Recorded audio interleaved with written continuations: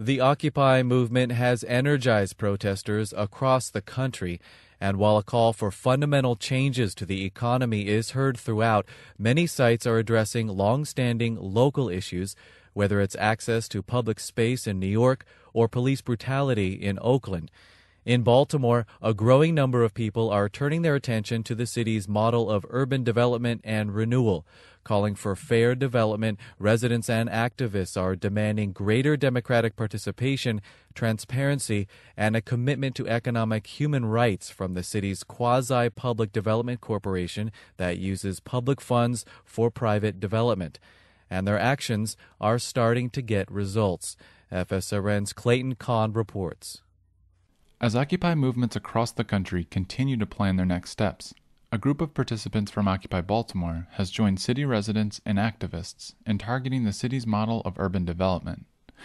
John Duda, a 33 year old participant of Occupy Baltimore, says that the Occupy movement has helped him to examine the role of urban development as part of local systemic issues. Sort of taking that energy and taking that you know, willingness to really confront the system and actually starting to think about where the system needed confronting. Um, and in Baltimore, there's a lot of things that are wrong. Um, and there's a lot of things that are wrong beyond just the banks have a lot of money or the banks have a lot of power. There's a lot of things deeply messed up with the way development happens in the city and the way development priorities are set. Duda, along with a group of residents and activists, are demanding fundamental changes to the operations of the Baltimore Development Corporation, or BDC, the quasi public nonprofit development firm that uses public funds for the city's major private development projects. For them, the BDC represents a model of urban development that prioritizes private interests and corporations over being transparent and accountable to the public. Colin Nowakowski, also a participant of Occupy Baltimore, explains. Their primary function seems to be channeling money and development towards large corporations, towards private development, um, helping and facilitating subsidies to those corporations and um, under the name of development, often uh, demolishing independent businesses, independent communities with very little oversight, with very little neighborhood input, with very little input from the labor community, from the faith community, and other uh, aspects of the communities that they heavily impact. The group of residents and activists, calling itself Another BDC is Possible, recently pressured the Development Corporation's president, Jay Brodie, to attend an open air public meeting outside of its offices.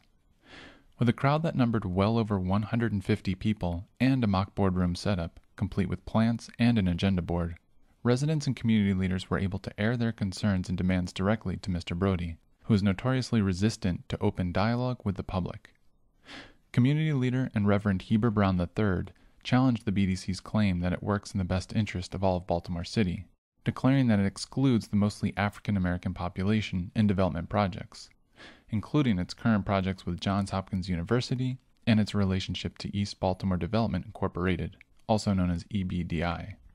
Uh, to me, I, I see uh, the, the, almost complete decimation of the black community in East Baltimore, where Hopkins and EBDI have cleared out whole swaths of the black community to make way for the continuing expansion of the Hopkins complex, and that's that's strange fruit to me. And so when I think about what's wrong with the BDC or my, my critique of the BDC, it comes down to that strange fruit, and it comes down to the lack of participation, the lack of input, uh, and the lack of, of transparency and accountability, particularly when it comes to the majority community in the city. The public meeting also provided a space where residents and activists were able to articulate ways in which the BDC could embody a model of what they call fair development. Casey McKeel, one of the organizers of the meeting, read a letter outlining some of these alternatives. The BDC needs to ensure that all city supported development results in good jobs with living wages and dignity. Through binding agreements with clawback provisions that take back subsidies when these benefits don't materialize. We need an economic development agency that works for us and with us, letting us determine the priorities to be pursued and the strategies to be followed. The open air meeting and the public pressure had an impact. BDC President Brodie conceded to having an open dialogue with a diverse delegation of community members. And I would like to think that we could enter into some further civilized conversations, whether we end up agreeing a little or a lot. If we disagree, I'd like to think we can disagree without being disagreeable. So our doors are going to be open for conversations. So if there's a delegation of people that we could continue to meet and talk with, that might be helpful. But as long as I'm around, I am happy and willing to have dialogue, and wherever it goes, it goes. As a gesture of good faith, the BDC agreed to publicly post all of their board meeting minutes online, including the minutes from the open air public meeting. Participants of another BDC is possible and Occupy Baltimore are now organizing the makeup of the delegation that is due to meet with the BDC in the coming weeks. Clayton Conn, FSRN, Baltimore.